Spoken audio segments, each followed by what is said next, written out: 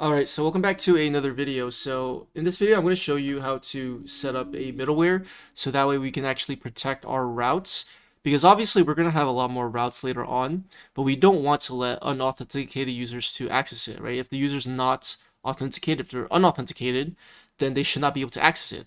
So how do we do that? Well, well, first what I'll do is I'm going to go ahead and just quickly create a new route, and this will actually prepare us for the next episode where I'm going to show you how we can fetch the guilds. So I'm going to create a new folder called guilds, and I'm going to just literally create an index.ts file, and it's going to look exactly the same as our auth.js file. So you can just go ahead and copy the import router from Express, copy the const router equals router, and then copy the export default router.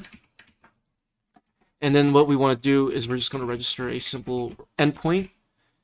So I'll just do slash for now, and keep in mind that all endpoints in this router are going to be prefixed with slash guilds, okay? So let me go ahead and send back a 200. And let me go into the index.ts file outside of the guilds folder, but inside the routes folder, so this one right over here. And what we're going to do is we're going to import the guilds router from guilds. And then we'll do the same thing on line 7 where we register the auth route but instead we're going to go ahead and register the guilds route with the guilds router. So this will prefix all of the guilds routes inside this router for us, okay? And because we already registered our router, this main router, inside create app.ts right over here, we don't need to do anything else. Pretty cool. All right, so now if I go back to, if I were to go to the browser right now, and if I were to visit that endpoint that we just created, so slash API slash guilds, you're going to see that I get a an OK. Perfect. But what if I wanted to limit this route to only authenticated users? Okay, well right now you can see that if I were to go to slash auth, and if I were to go to slash status, you're going to see that I'm actually not even authorized, okay? So let me go ahead and write a middleware function that we can reuse on multiple endpoints that we want to protect. So that way we don't have to uh, ch manually check it every single time like we're doing over here. We can actually just write a middleware function. So what I'll do is I'll actually go inside utils. So let me just close this and close this. Let me go inside utils and I'll go ahead and create a file called middlewares.ts and I'll create a function. So for const and I'll call this is authenticated. And this function is going to take in two parameters. It's going to take in the request and the response object. And we're going to return a Boolean value. Or actually not a Boolean value, but we're going to do some kind of logic. But first, let me just type annotate these objects because we're using TypeScript. And also because it's going to give us the linting error, which is kind of annoying. Okay, so what we're going to do is we're going to go ahead and check to see if request.user is truthy. So if request.user is truthy, and I'm going to use a ternary operator for this, if request.user is truthy, we want to actually go to the next middleware function that's supposed to be called down the middleware chain. So if you think about it, Express is really just a web framework that's made up of middleware. So even this request handler over here that's sending back a response, even this function is actually known as a middleware. We can actually pass in another parameter, okay? And you can see IntelliSense says it's literally just uh, it's just a bunch of handlers, okay? You can pass in as many as you want. So if I want to pass in another one, I could, okay? So the thing is though, how do we actually call the next function? So first off, this function is going to be invoked first okay? But And then after this function is done, this should be the next function that should be called, okay? But how do we actually do that? Well, what we need to do is we actually need to take in the next parameter. So what do I mean by next parameter? I mean that there's a third parameter called next, okay? And we can type annotate this using the next function interface. And this parameter is literally just a function that will literally call the next middleware function. Okay, I know it might be a little bit confusing, but it might help if I actually just, if I, let's say for example, if I just took this, right, and if I were to just plug this in in between over here, right, I'm literally just doing the same exact thing. The only difference is that I'm just putting it in a named, I'm just, I'm just making a named function and I'm going to export it in that file. I'm going to import it here later. Okay. Uh, I'm not sure why this is giving me an error. Let's see what's going on here. Oh yeah, it's because I don't have the imports up there, but don't worry about that. But it, it's, it should work just fine, right? If I were to call the next function, it's going to go ahead and execute this function, which will then send back a response. Okay, so I know, just, just wait until, uh, I know it's a little bit confusing, but just wait until we actually see it in action and you'll understand a lot better. Okay, so we're going to check to see if req.user is truthy. If it is, we're going to call next, which will invoke the next function down the uh, the middleware chain. And if req.user is undefined, we'll just send back, oh, we'll set the status to 403 and send back a message that says unauthorized. Okay, now let's go ahead and import this function.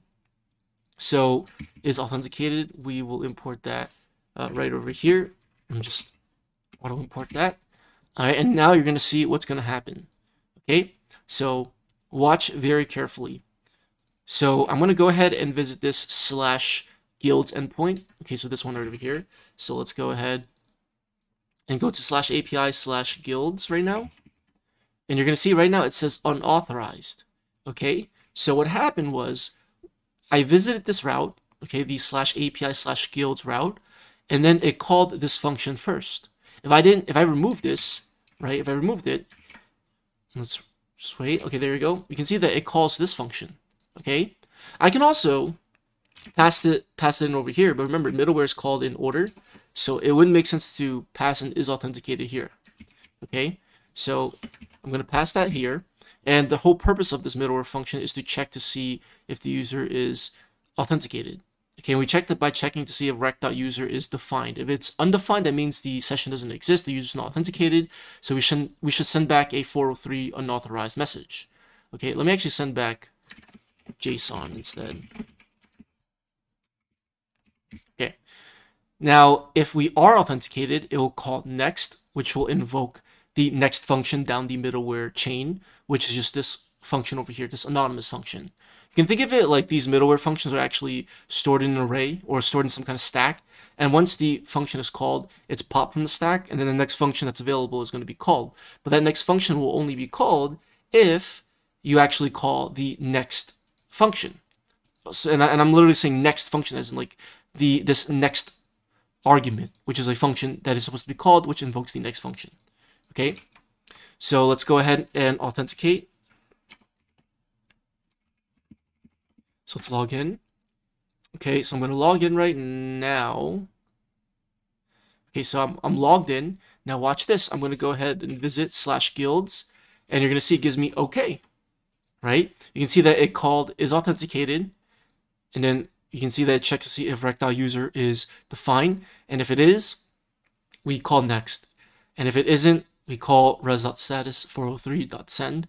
And that's going to send us back a 403.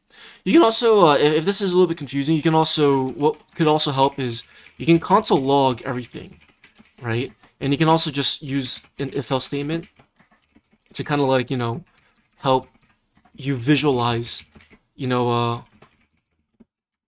visualize everything, right? Because it might be a little bit confusing um, if, if it's like new to you.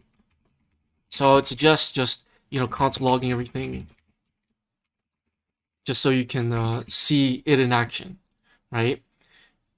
So let me go ahead and do that. And let's go ahead and refresh the page. Let's look at the logs. So if I look at the logs right now, you're going to see that over here it logs req.user. Okay. Then it calls the next function, Okay, and you can see that because it's defined. We have calling next being logged right over here. And then when we call next, it literally invokes this function. Okay, and then it logs success. Now we could also take in the next parameter here as well. And then if we were to call next, we could do that as well. Okay, and then we can just pass in another handler, which takes in the same exact parameters. And we can just console log I I am finished with request and response. And let's see how this works. So let's refresh. Okay. You're to see that after everything is done, you can see that it logs the last handler. So you can do this as many times as you want. Okay. So I just wanted to show that to you very quickly, just so that you all understand how exactly this whole thing works. Okay. So hopefully this made sense. And now you can literally just plug in this is authenticated middleware function anywhere you want. Okay. And it will protect your API routes. So hopefully that makes sense. And I will see you in the next episode. Peace out.